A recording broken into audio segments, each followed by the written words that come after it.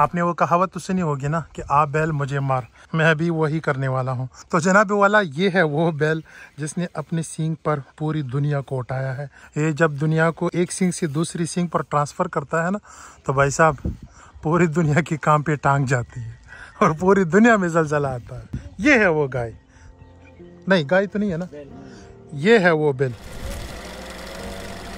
यह है इस्लाम कोट तरपारकर का एक तहसील है। मैंने आज रात यहाँ पर गुजारी। यह शहर पाकिस्तान के बाकी शहरों से बिल्कुल अलग है।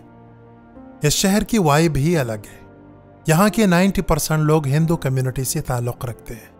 यहाँ पर आपको हर तरफ़ सेहतमंद गाय मिलेंगे, जिसको लोग मुख्तलिफ़ किस्म के काने सवाब समझ कर खिलाते हैं। देसी सिगरेट, बीड़ी, मैंने इंडियन फ़िल्मों में देखी थी। यहाँ पर बेड़ी हर दुकान में मिलती है। बकरी का गोश्त यहाँ पर निस्बतन पाँच सौ रुपया सस्ता है। यहाँ पर लोग कुल्ले फिजा में बाल काटते हैं। यहाँ पर आपको लोहार भी मिल जाएगा, जो मुख्तलिफ़ चीज़ें बनाते हैं। यहाँ की सवारी भी मुख्तलिफ़ है। इस बाज़ार में एक किस्म की सब्ज़ी मिलती है, जिसका नाम है संगरी। मैंने खाई है।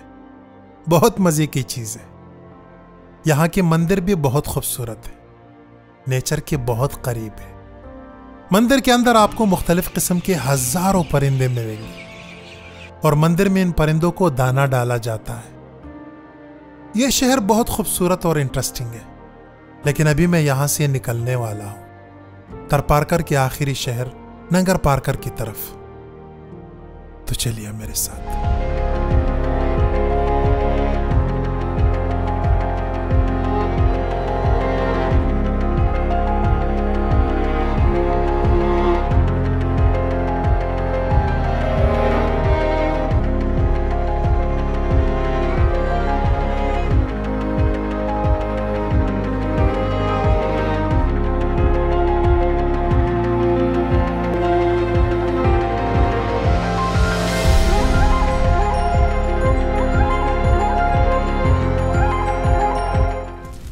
तो जनाब वाला इस वक्त मैं मौजूद हूँ इस्लाम कोर्ट में और अभी मेरा इरादा है नंगर पार्कर की तरफ़। नंगर पार्कर यहाँ से तकरीबन 100 किलोमीटर दूर है। और जैसे कि आप सबको पता होगा कि मैं हमेशा सोलो ट्रैवल करता हूँ। मेरे साथ ज़िंदगी में पहली बार मेरे साथ मेरा एक दोस्त है। वालेकुम। आगा जहूर ये भी मेरी तरह आवारा गर्द है। और आज ये मेरे साथ जाएगा नंगर पार्कर। नंगर पार्कर। अब मैं इसको क्यों लेके जा रहा हूँ? ठीक है? मेरे बाइक के पीछे मेरे से चौक के अलावा अभी तक किसी ने सफ़र नहीं किया। इस बंदे को जो मतलब इतना कोई ख़ास है भी नहीं बिल्कुल मेरी तरह काला कलूटा है। अभी मैं इसको अपने पीछे क्यों बिठा रहा हूँ? इसकी एक वजह है जो अभी मैं आपको दिखाने वाला हूँ बताने वाला हूँ। जी आगा साहब अभी आपके हाथ में क्या है? ये थरपारकर हाँ। राजस्थान का एक पुराना कदीमी म्यूजिकल इंस्ट्रूमेंट है। ठीक है। जो कि मैं अभी बजाने वाला। हूँ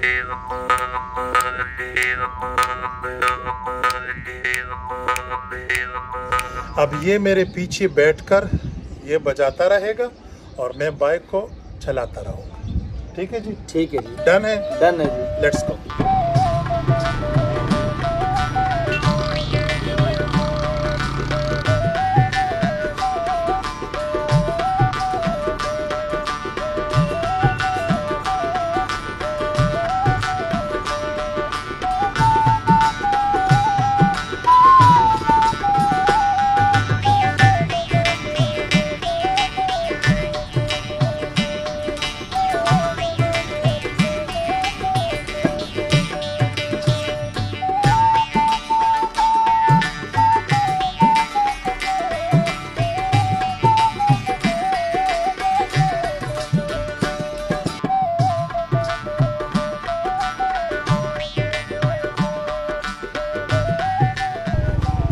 पर ये एक ही जानवर है जो सरवाइव कर सकता है और वो है यहाँ की ऊँट। अच्छा इसको बांधा गया है यार।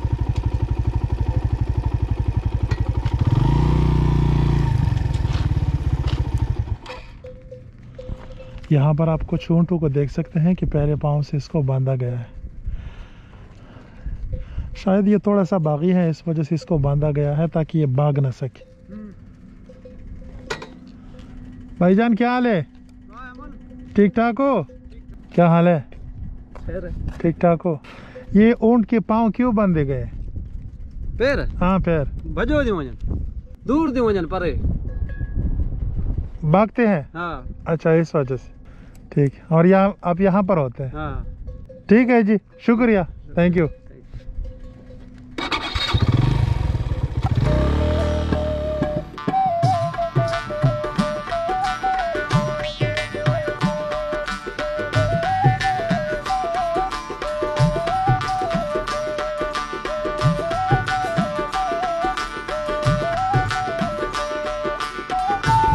अच्छा जी तो ये मेन रास्ता जाता है सीधा नंगर पार्कर के लिए। और नंगर पार्कर अभी तकरीबन यहाँ से तीस चालीस किलोमीटर दूर है। लेकिन यहाँ पर ये छोटा सा रास्ता जाता है गोजी मंदिर। गोड़ी मंदिर या गोजी जो भी है। और कहा जाता है कि ये जीन मत का मंदिर है। जिन लोगों का ताल्लुक़ जीन मत से है ये उनका मंदिर हुआ करता था। तो आइए, तीन किलोमीटर है, ज़्यादा दूर नहीं है। वहाँ पर भी जाते हैं, उसको भी देख के आते हैं। और अभी चूँकि खुशकसाली चल रही है यहाँ पर तो आप हर तरफ़ देख सकते हैं यहाँ पर सहरा ही सहरा है कोई ग्रीनरी नहीं है। लेकिन ये डेजर्ट ग्रीन होता है आ, अगस्त नवंबर इन महीनों में। जब बरसात हो जाए ना बरसात के बाद ये सारा कुछ ग्रीन होता है यहाँ पर। वाह क्या खूबसूरत रास्ता है यार। खूबसूरत रास्ता बनाया गया है।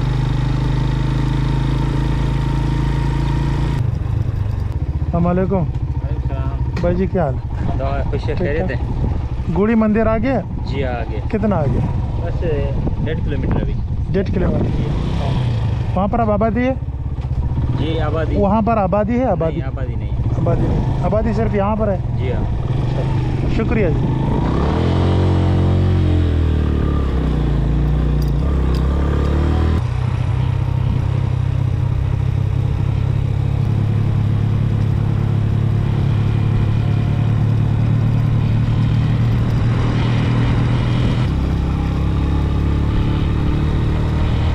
वालेकुम। क्या हाल है? कहाँ से आ रहे हैं? स्कूल से आ रहे स्कूल से आ रहे हैं? स्कूल कहाँ पर पढ़ते हैं? अच्छा वो आपका स्कूल है। क्या नाम है आपका? लेखराज। लेखराज। और आपका? चंदर। चंदर। और आपका? अनिल। अनिल। अनिल। चंदर। लेखराज। लेखराज। और आपका नाम क्या है? भागचंद। बकचंद भागचंद। बागचंद। बे भोलो भागचंद बाग। भागचंद बग। भागचंद भागचंद बकचंद ये हमेशा भागता रहता है? इसलिए इसका हाँ? इसलिए इसका नाम बकचंद पड़ गया। मुझे तो बचा है। सलाम वालेकुम सर। वालेकुम सलाम। क्या हाल है जनाब? ठीक ठाक है? आप खुश हैं? खैरियत से है? शुक्र है अल्लाह। आगे मंदिर जा रहे हैं? हाँ जी मंदिर देखने जा रहे हैं। कहाँ से आए? मैं सर पेशावर से हूँ। पेशावर से? जी जी सही सही बहुत शुक्रिया सर। थैंक यू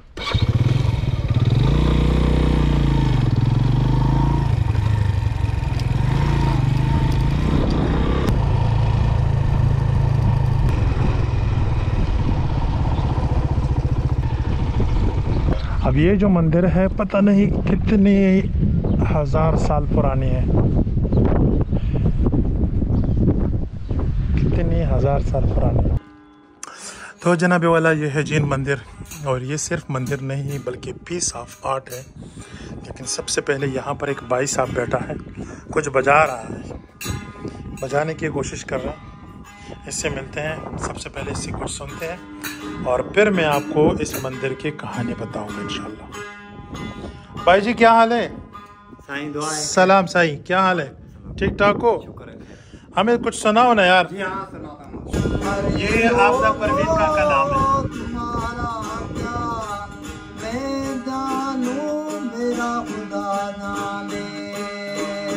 खुदा जाने।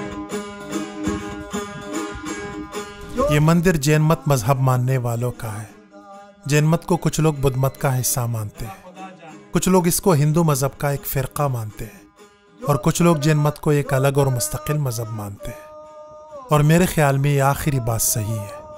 जैन मत के मानने वालों ने पार्टीशन के वक्त यहाँ से इंडिया राजस्थान की तरफ़ हिजरत की।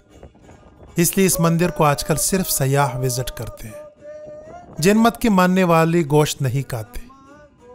इंसान तो क्या जानवर को भी नुकसान पहुंचाना गुनाह समझते हैं। इस मंदिर में ऐसे पत्थर का इस्तेमाल हुआ है कि बाहर इतनी गर्मी के बावजूद अंदर से ठंडी ठंडी हवाएँ आ रही है। और कहा जाता है कि इस मंदिर के अंदर इस्तेमाल होने वाले पत्थर इंडिया के शहर जोधपुर से लाया गया है।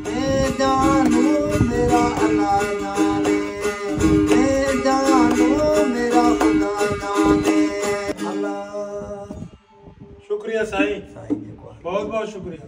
थैंक यू शुक्रिया शुक्रिया। तो ये कलाम हरे लोगो, तुम्हारा क्या? मैं जानू, मेरा खुदा है। इसे लिखा है बाबा बुल्ले शाह ने और इसे गाया है अब्दा परवीन ने।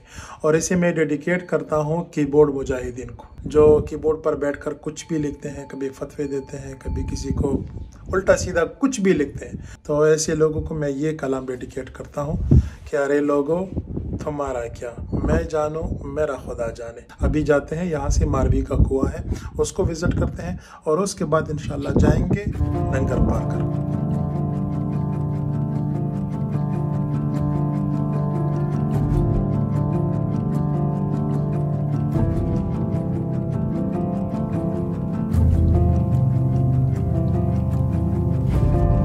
फाइनली जनाब हम पहुँच गए हैं। मारवी का कुआ, बालवा थर। बालवा थर। बालवा जो है, ये मारवी का एक गाँव का नाम है। थर तो बस तर ही है, सहरा। तो ये है जनाब मारवी का कुआ। मारवी यहाँ से पानी भरकर ले जाते थे अपने घर। उसके घर वहाँ पर थोड़ा सा दूर है। अब मारवी नाम तो बहुत खूबसूरत है, लेकिन पता नहीं लड़की कैसी थी। लड़की खूबसूरत थी, या नहीं? सलाम साई। क्या हाल है? ठीक ठाक हो? ये इंडिया पाकिस्तान का दरवाज़ा खोल दो यार। पता नहीं मुझे वो वाघा बॉर्डर के दरवाजे क्यों याद आ गए। उसी की तरह। वो आवाज़ क्या हाल है साई? ठीक हो? यह है मारवी का कुआँ।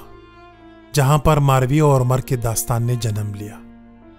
और यहाँ पर हुकूमत ने एक चार दीवारी और तीन कमरों का म्यूज़ियम बनाया है। तो आइए म्यूज़ियम की मदद से इस कहानी को समझने की कोशिश करते हैं। मारवी इस गाँव की खूबसूरत लड़की थी। लोग इसके बारे में कहते थे कि मारवी को किसी महल में पैदा होना चाहिए। पोगना में एक लड़का इस पर आशिक था, लेकिन मारवी ने शादी से इनकार किया।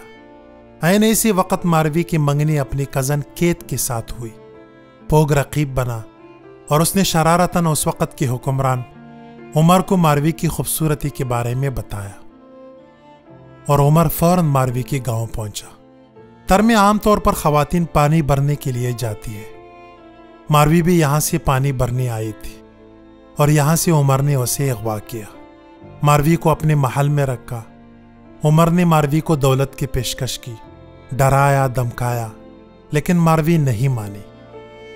और बिलाखिर मारवी को एक साल अपने महल में कैद करने के बाद उमर मारवी मारवीसी मायूस हुआ और उसे वापस अपने गाँव में छोड़ दिया गया। लेकिन ज़िंदगी, खुशियाँ और सुकून मारवी की नसीब में नहीं थी।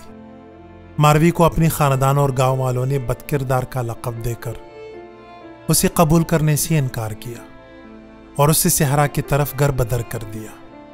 और मारवी बिचारी वहीं पर भूख और प्यास से तड़पते तड़पते मर गई। यह है वो कुआँ, जहाँ से ये दर्दनाक कहानी शुरू हुई। आजकल यहाँ पर एक चचा कड़े रहते हैं, जिसको गुर्बत ने मुकम्मल तौर पर फतेह किया है। ये जगह विज़िट करते हुए चाचा की मदद ज़रूर कीजिए।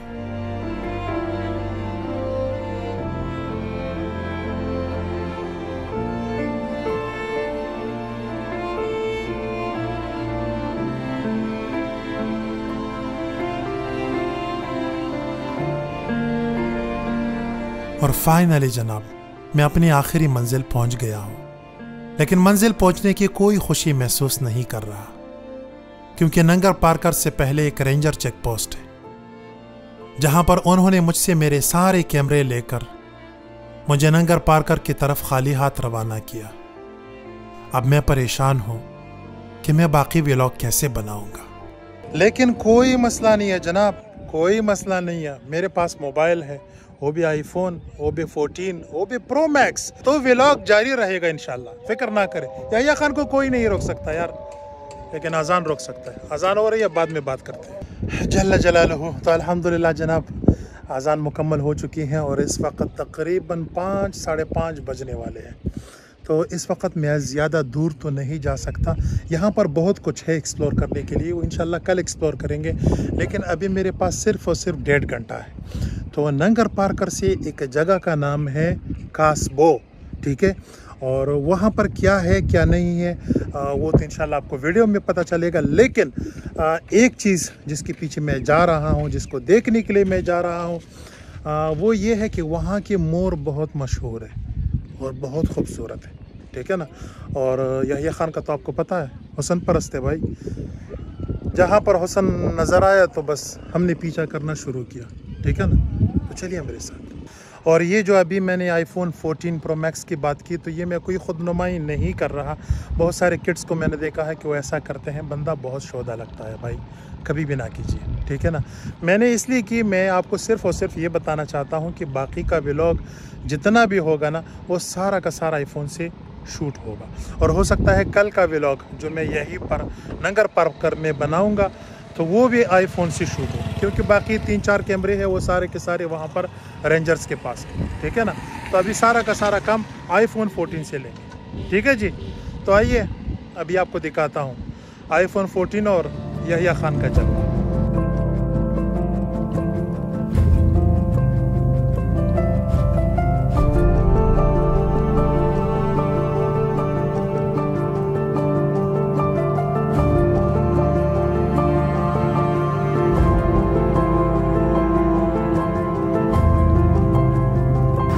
यार कमेंट्स में सच सच बताओ। ऐसा खूबसूरत सहरा कभी देखा है?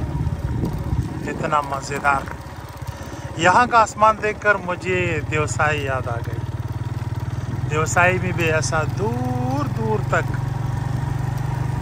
खूबसूरत आसमान है। ज़बरदस्त। पूरी पैसा वसूल जगह है। और अभी मैं आपको यहाँ के मोर दिखाता हूँ। ओहो हो। मैं एक हाथ से बाइक चला रहा हूँ, दूसरे हाथ से मोबाइल पर रिकॉर्डिंग कर रहा हूँ आपके लिए। अच्छा जी तो अभी मैं पहुँच गया हूँ यहाँ पर कासबो गाँव में एक मंदिर है और इसका नाम है रामा मंदिर।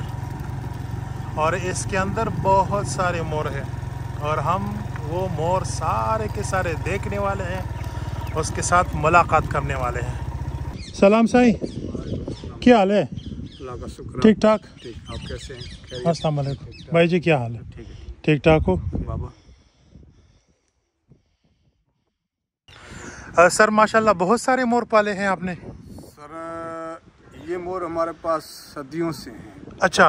वैसे तो कासपे गाँव में हज़ारों तादाद में हैं। बिल्कुल बिल्कुल। तालको नगर पार कर गाँव रामा पीर मंदिर तो ये 500 मोर तो मंदिर में रहते हैं। पाँच सौ मंदिर सर आपने अपना नाम नहीं बताया। काइंडली ज्ञान। बकत ज्ञान। हाँ, ज्ञान चंद भी बोलते हैं अच्छा। मंदिर का पुजारी हूँ अच्छा। बोलते हैं अच्छा। बोलते हैं। ठीक है जी ठीक है। शुक्रिया शुक्रिया। आप इनको बुलाइए जल्दी से। इस मंदिर में मोरों को तीन टाइम का दाना दिया जाता है। और मेरी खुशकिस्मती है कि अभी ये आखिरी बार इसको दाना देने वाले हैं। और सर इसको सबसे पहले बुलाएँगे। और तो आप बुलाइए सर ताकि मैं देखो किस तरह बुलाते हैं। डैड डैड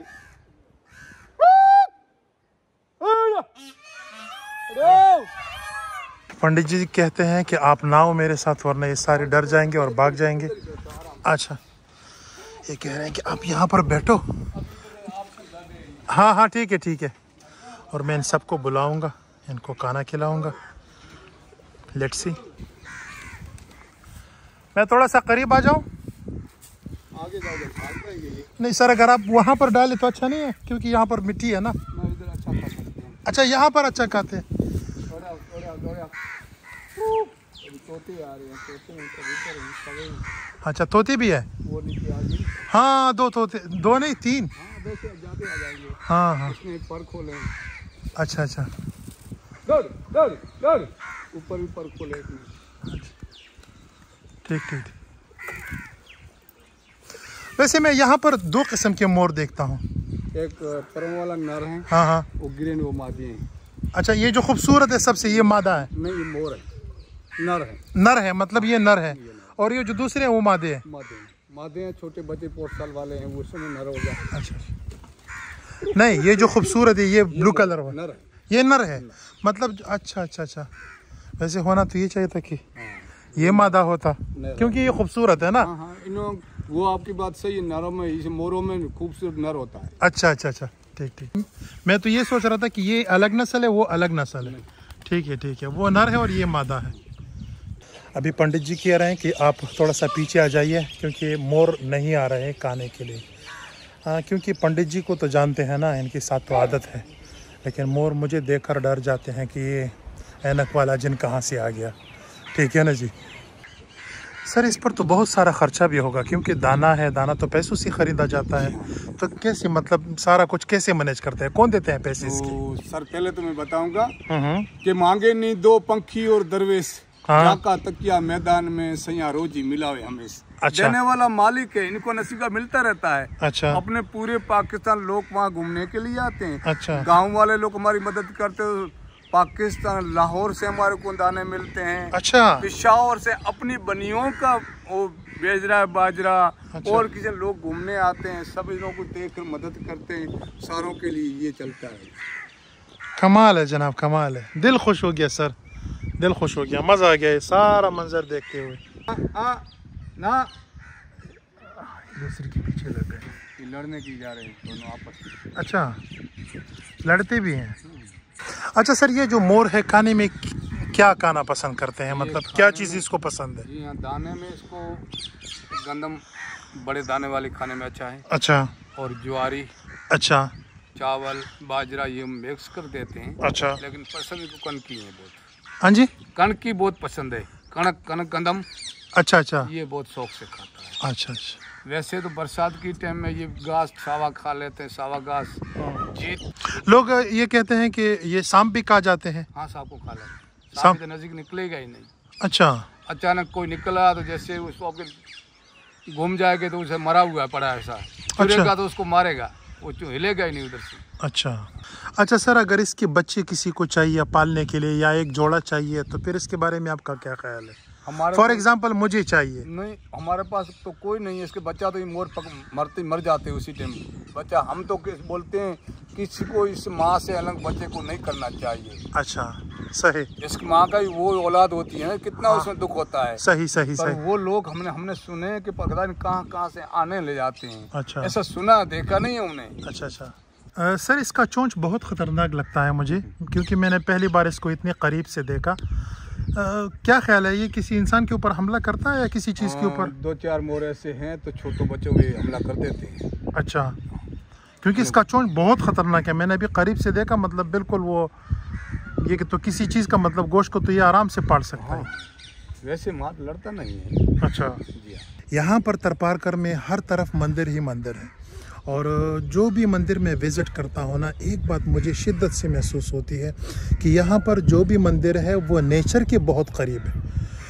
हर मंदिर के अंदर बहुत सारे दरख्त होंगे, परिंदे होंगे, लोग आते हैं, दाना डालते हैं। मतलब एक ज़बरदस्त किस्म का नेचुरल एक्सपीरियंस होता है जब आप यहाँ पर आते हैं। खुशी होती है। तो जस्ट मैं एक आइडिया दे रहा हूँ, एक सजेशन दे रहा हूँ कि क्या हमारी मस्जिद इस तरह नहीं हो सकती कि उसमें बड़े बड़े दरख्त हो, वहाँ पर बहुत सारे परिंदे हो, हम नमाज़ के लिए आए, इबादत के लिए आए साथ साथ कबूतरों को, जो यहाँ पर मोर वगैरह है, जो भी जो भी परिंदा हो, हम उसके लिए दाना डालें। तो बहुत ही ज़बरदस्त किस्म का एक्सपीरियंस होगा। तो बहुत शुक्रिया जनाब थैंक यू सो मच कि आपने इस वीडियो को यहाँ तक देखा एंड तक देखा। तो थैंक यू सो मच बहुत बहुत शुक्रिया। खुदा हाफिज़।